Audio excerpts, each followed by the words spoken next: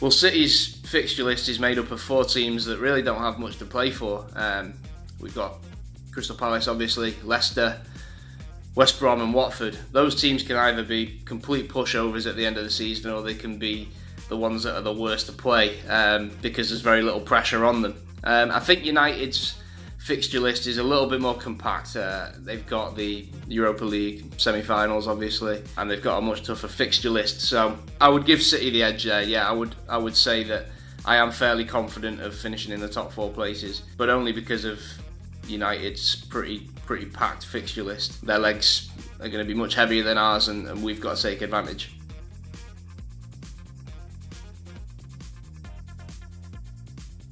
Yeah, I do think they would have kept the job. Um, our owners have proven in the past that they're football men as well as businessmen, and I think they're very aware of the task on Guardiola's hands. Um, I think Guardiola is really starting to realise what a job he has to do now because this squad is in is in massive need of an overhaul. Uh, we lined up against Arsenal in the semi-final with five players um, above the age of 31, or I think it was five only five players who weren't above the age of 31, something like that. Is either way, it's it's very worrying, and there are a lot of positions that we need to address. And so to sack any manager after the first season in charge with a squad that needs so much work uh, would be a pretty ridiculous decision. So no, I think that our owners are, are quite sensible, and uh, they would they will give any manager who comes to the club time.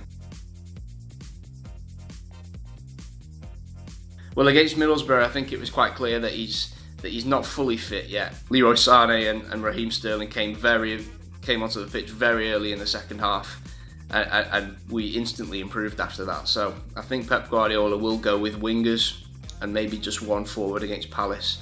You know, he, he, when he plays, he he always seems to bag a goal. He, he's a great player, but. Um, I think the main threat will come from the wings. Uh, they've really got a point to prove. They've not been playing particularly well recently. I think um, you know, a very cluttered season is is getting to their legs, but uh, I think the threat will come from from either Sane or Sterling in this game. I think our weaknesses are very, very clear to see. At fullback, we're particularly bad there. Um, Gael Clichy's played pretty much every game for us in the last two months, so I, I wouldn't be surprised to see him starting at left back. And obviously, Wilfried Zaha should be um, licking his lips about the prospect of facing Clichy. I feel bad saying it because Clichy's been a great servant to the club and he's a great professional, but um, age has just kept uh, caught up to him this season, and he's he's been quite quite far and away our um, our worst player. If he's going to be going with the same lineup as he has um, in previous fixtures, then it's going to be Jesus Navas, and he's not a defender, and he's also not an attacker. He's just there. He's just a guy that we throw onto the pitch. Uh, I really don't see what he offers. So Palace should be targeting our um, our fullbacks definitely, and, you could get a lot of luck there. You really can't predict with City. Uh, it, it, looks like we're ready for the season to end.